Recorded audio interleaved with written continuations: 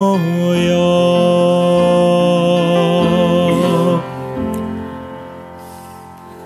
Lord be with you. A reading of the Holy Gospel according to Mark. Jesus and his disciples left from there and began a journey through Galilee. But he did not wish anyone to know about it. He was teaching the disciples and telling them the Son of Man is to be handled, handed over to men, and they will kill him. And three days after his death, the Son of Man will rise. But they did not understand that, saying, and they were afraid to question him. They came to Capernaum, and once inside the house, he began to ask them, What you were arguing about on the way? But they remained silent. They had been discussing among themselves on the way who was the greatest.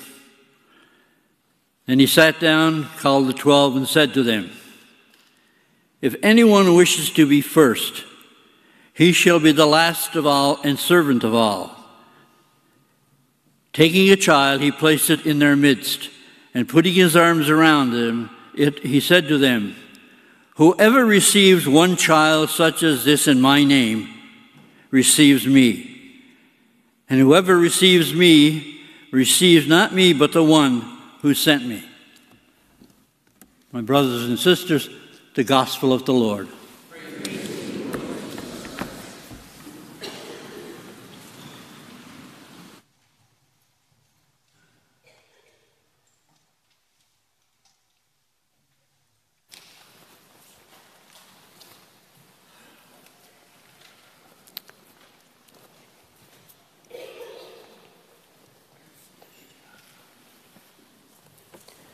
Everybody to take a moment and remember your first job you had growing up. Do you remember it fondly? Mine was in a tattoo parlor. Actually, it was ShopRite. And I was, uh, I was a bag boy when they had plastic bags. And then I became a stock clerk. And the uniform at the time, later on we went to polo shirts, but the uniform when I started was black pants, white shirt, black tie, big ugly yellow name tag. And the name tag that had those machines where they typed out your name and stuck it, How may I help you? Dan. Now, the really important people in that ShopRite store in Hudson had a black name tag. And that one was professionally engraved. They must have sent away to some company to have them sent in. You had to have been there like 20 years or been a department manager to have a black name tag. Well, lo and behold, this guy Chuck, they're always named Chuck.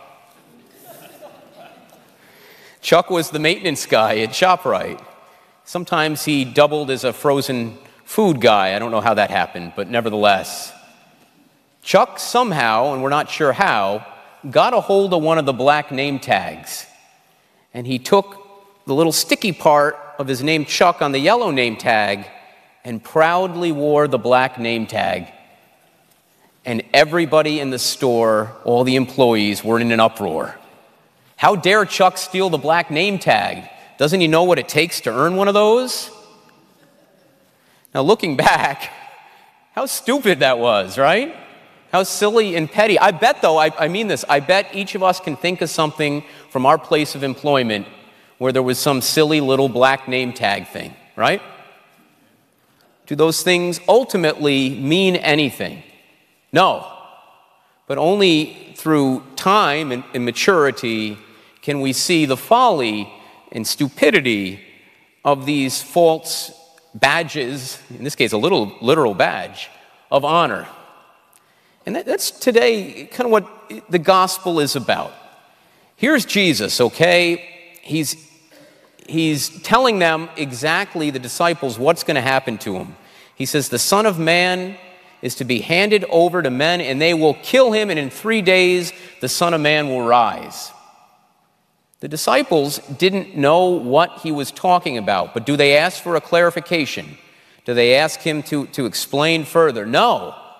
they go about with their own little petty dispute.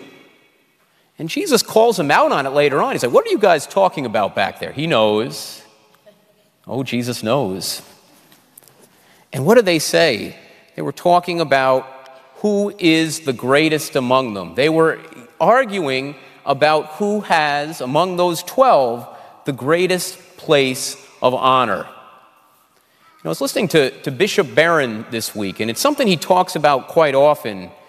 He, he quotes one of his um, heroes, St. Thomas Aquinas. And St. Thomas Aquinas said there are four main distractions that we as human beings have that keep us from God.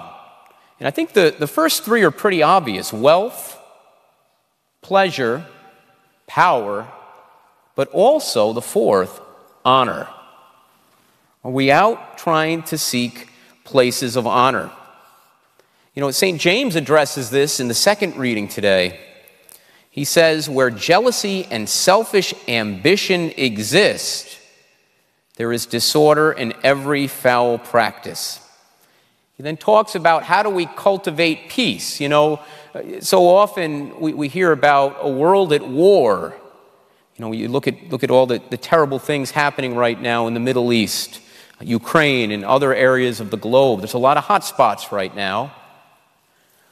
But in order to cultivate peace globally, we have to start locally, to have a peaceable heart, to follow Christ, to get rid of anytime we can identify those four main distractions in our life wealth, pleasure, power, and honor where we see those things creep up, those are the times we have to ask God for the help to help us avoid those distractions and to keep our eyes focused on the prize, and that prize is eternal life with Him. And, and you know, the, the, the beautiful thing about this is then after they have this dispute, the, the 12 uh, with Jesus, and he, he calls them out on their, their stupid little power dispute. He finds a child, and they're walking, and he, he grabs a child. You know, God calls each of us to be innocent like a child. What is a child in, in first century Jewish society? A child is a nobody, a nothing. Does a child have, have wealth or power or status? No. A child is completely dependent on his or her parents.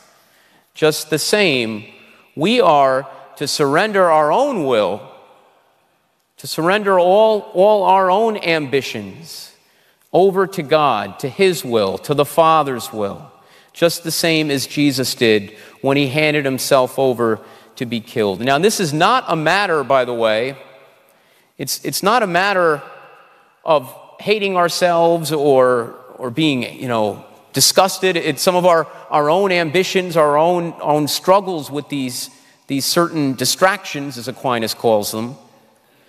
You know, there's an old maxim that says, and I think it bears true God doesn't want us to think less of ourselves, He wants us to think of ourselves less, to be less selfish and more helpful to be not full of ourselves, but be willing to lend a hand to others. You know, t- today, this morning, we have Saturday morning Mass, as many of you know, and today is the feast day of St. Matthew, apostle and evangelist. And there's a, there's a beautiful painting in the Contarelli Chapel in Rome. It was painted in the year 1600 by a man who had his own struggles, as many of you know, a painter by the name of Caravaggio. It's a very famous painting of the call of St. Matthew. And in that painting, it pictures Jesus pointing at St. Matthew. A, a supernatural light is coming through the window, and you see Matthew. It's just a beautiful scene, you know, the psychological depth that that painter captured of this moment in time. With his left thumb, he's pointing, saying, Me? His right hand is still holding on to the tax money that he stole from his own fellow Jews. It's just beautiful. It's a call. Which way did Matthew go? He left that distraction of wealth aside and went with Jesus. And it's at that segue that I use to introduce to you the Called by Name program. At the back, we have so many things back near that font, guys. I don't know. It's, it, there's, there's two baskets for, for Deacon Church's mission, there's some brochures, but there's also a little table with these white cards on them. And we are asking you to prayerfully consider if you know any young men who would be good candidates for the priesthood. You know, we, we, we need, as I mentioned previously, we need lay people to serve the church, absolutely. We need deacons too, but we also need priests.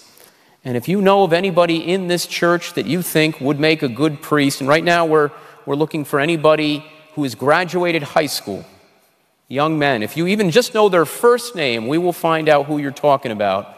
We ask you to to grab one of these cards and bring it back with you next week to fill it out.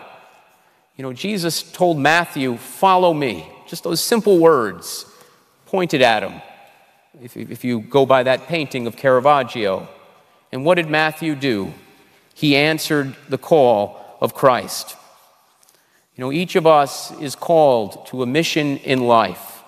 And sometimes we have to help each other find out what that mission is. You know, we're all here for each other. We are the body of Christ, the church, here to worship Jesus Christ, the Son of God.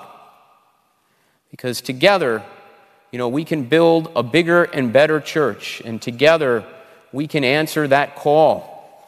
And we just kindly ask you to prayerfully consider of any young men that you might know who have the gifts to be a priest.